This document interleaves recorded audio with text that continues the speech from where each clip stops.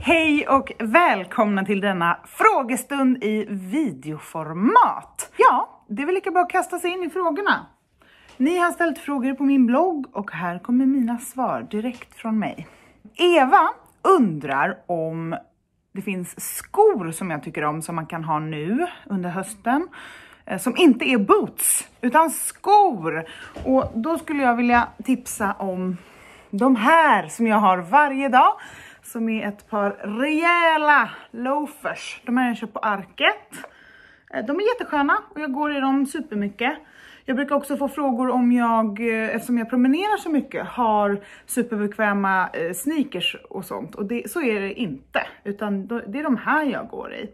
De här tycker jag är fina för att man kan ha tunna, tunna strumpor i och korta byxor eller strumpbyxor. Passar till det mesta helt enkelt. Jag tog också med en liten festvariant som har en liten högre klack. Och de här är sprillans nya och kommer från H&M. Så de här ser jag fram emot att ha med kashmirstrumpbyxor och eh, kanske någon liten brittisk look i övrigt.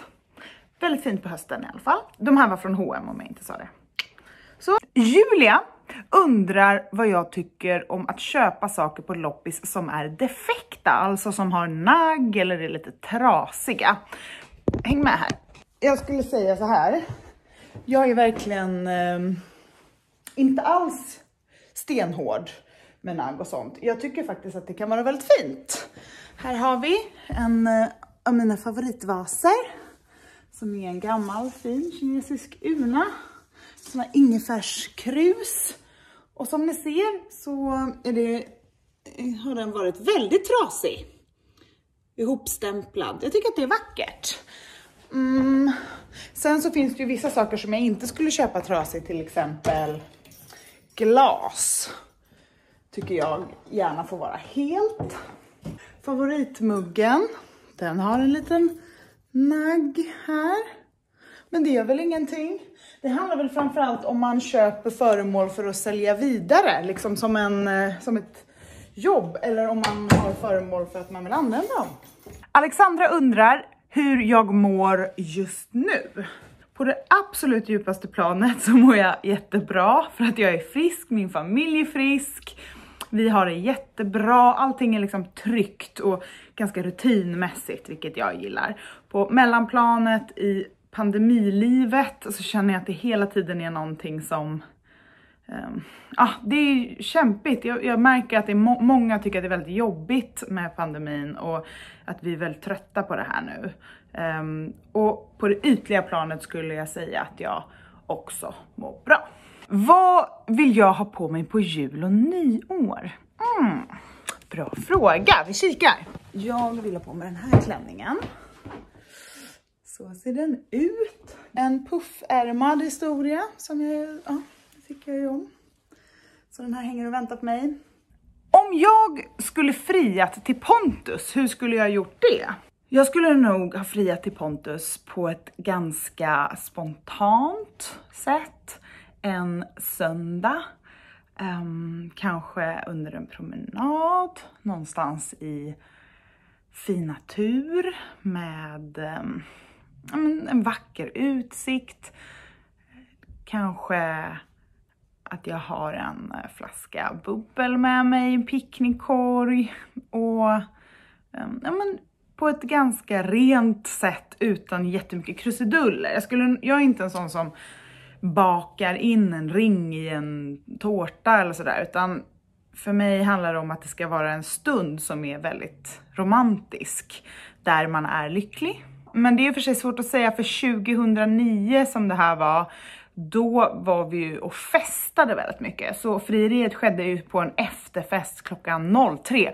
Och det var ju också klockan 03 ungefär som vi träffades på Spybar. Så att då hade jag nog inte sagt på en söndagspromenad på Djurgården, utan kanske mer så här på trädgården längst fram när vi tittar på ett ascoolt band. Men idag så hade jag eh, nog gjort det på ett lite mer vardagligt sätt. Har jag något mål med löpningen just nu? Eh, ja, eh, mitt mål med löpningen är att komma ut och springa. På Gotland då kan jag bli sådär manisk och liksom vaknar och är aspepp på att bara wow, ut, springa ut direkt, du vet, kommer hem klockan sex och har sprungit och nu blir, ska jag jobba och sen är det frukost, sen däckar jag för sig klockan 15.00, helt slut. Men här i stan, det är så tråkigt. Jag har också jättesvårt att springa ihållande. Jag stannar och liksom måste kolla något i mejlen eller på Instagram eller någon konversation, någon ringer, ja ah, perfekt, jag måste nog ta det här samtalet, börja gå. Jag är väldigt disträ i stan. Så att därför funderar jag på att skaffa en PT. Jag tror att jag skulle tycka att det var jätteroligt och också väldigt nyttigt på det sättet att någon säger åt mig vad jag ska göra. Och vore det inte härligt med en PT som var sådär riktigt sträng? Inte en ohärlig människa såklart, men tänk att man vill att den ska säga åt en att det ska vara tydligt så att man får gå in the zone. Det längtar jag efter, för så fort jag kommer ut här så är det, det är folk och man måste zigzacka och sådär. Så målet med löpningen är att eh, springa oftare. Mia undrar hur jag ser på nöjesflygresor i ett eh, hållbarhetsperspektiv då antar jag. Jag har alltid varit en hemmakatt eh, och tycker om Sverige, Stockholm väldigt mycket och det har jag alltid gjort. Så för mig har flygresor och att åka långt bort aldrig varit något som jag verkligen älskar och brinner för och liksom känner att jag cravar det. Så därför är ju det lite svårt för mig att ställa, sätta mig in i den, en sån persons situation. Um, jag tycker också att begreppet nöjesresor, det kan innebära så himla mycket. Uh, men jag som klarar av att stanna hemma kan ju göra det då. Så att jag flyger helst inte så mycket alls. Eh, men jag kan tycka att hela, miljö, alltså hela miljötänket är så komplext att koka ner det till så här, nöjesresor, dåligt, mm, second hand, bra. Det är inte att summera en människas liv och hur man hur man lever och hur man funkar, utan det är så komplext. Däremot tycker jag att det är jätteviktigt att vi hyllar goda exempel, att vi inte gör slentrian saker bara för att och att vi också tittar på oss själva. Ehm, det kan lätt bli så att man tittar bort mycket ehm, i och med att vi befinner oss där vi gör, rent så krismiljömässigt. Men just därför är det ju jättebra att om man är en person som känner såhär, men gud, jag måste inte åka till de här ställena. Ja, men då gör inte jag det. Vad bra! För då kanske unna någon en resa någon gång som den känner att den verkligen, verkligen behöver. Ehm, och på det sättet så har vi fått ner flygandet. Och det är väl jättebra. Ia undrar om min smörfobi och hur jag gör när jag har till exempel gäster. Och det ska jag berätta för er, att min smörfobi är ju inte det som man tror, alltså att jag vid blotta åsynen av smör blir livrädd, så som till exempel en ormfobi eller en eh, spindelfobi är. Utan min smörfobi bottnar i att jag när jag var liten tyckte att det var så äckligt att det var så mycket mycket och kladdigt smör på alla mackor hela tiden. Och alla skulle bre mackor till en. Det breddes mackor. Hej, ska du ha en macka? Ja, vi är mackor. Alltså det var så mycket mackor och alla föräldrar till ens vänner skulle bre mackor och det var så här mycket smör och vet, folk åt dem girigt då med att man sätter liksom tänderna och skrapar så det och så fastnar det i gommen och det är så här, ah! Och jag tyckte att det var jobbigt för att jag tror att jag hade lite basilskräck när jag var liten och alla de här mackorna som andra människor bredde åt den tyckte jag var jobbigt så jag försökte nog kontrollera det ganska mycket. Den typen av smör som är sådär att det blir glansigt när det är rumsvarmt. Ha, det har jag svårt för. Och jag förstår att folk tycker att det är gott.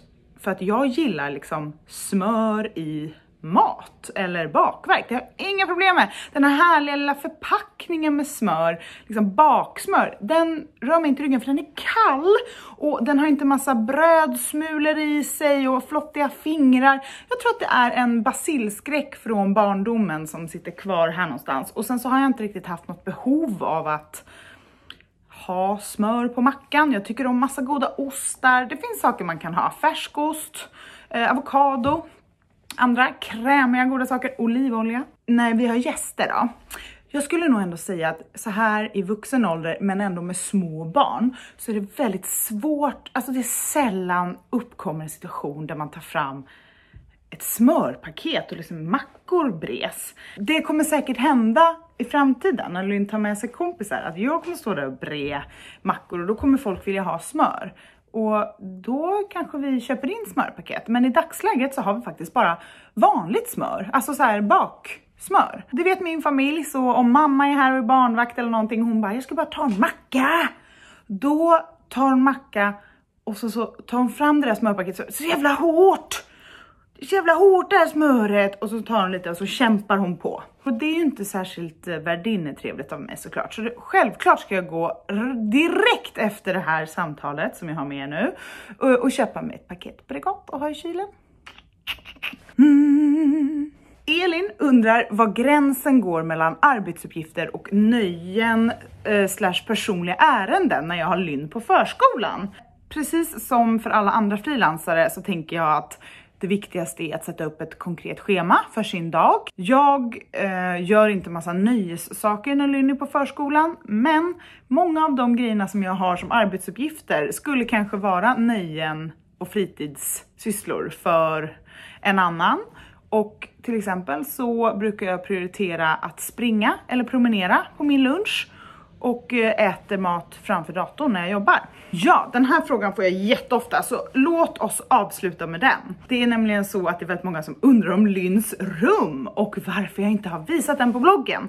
Och det är verkligen ingen stor grej. Det är ett jätteantiklimax. Det finns ingen hemlig anledning till varför jag inte har liksom, dokumenterat Lynns rum. Jag har börjat blogga på ett lite annorlunda sätt senaste åren eh, där jag inte är lika redovisande. Köket har ni ju fått se och det var ju ett samarbete och då stod det ju i min arbetsuppgift att självklart ska jag visa tydliga före, under och efter bilder. Så det var ju självklart att göra det. Men i, i det stora hela så har jag liksom inte samma um, presentationsplikt inom mig som jag hade för många år sedan. Hade det här varit 2011, då hade jag varit så här: okej, okay, nu tittar vi på det här hörnet i sovrummet noga och så tittar ut. Men idag så är det mer texter om känslor och sådana grejer. Och sen så är det ju ett väldigt litet rum som är ganska mörkt så att det är inte så lätt att fota. Men vi kan väl gå och titta lite nu. Här är dörren, så här kommer man in och då ser man liksom in till vardagsrummet där, städskåp där och Lynns, oj, Lynns rum. Så. Um, så vi kan ju kliva in. Då möts vi av lite gulliga grejer. Och det här var ju eh, skafferiet förut. Men det har vi gjort om till eh, alla Lynns liksom, grejer och kläder och böcker och sånt som han kommer åt själv här nere. Och här på andra sidan så är det liksom ett kryp in. Så här inne så sitter vi och leker och här har vi liksom leksaker i stora såna här. Här i har vi allt lego och sådär. Och här är en säng. Ja. Ungefär så. Vi hörs snart.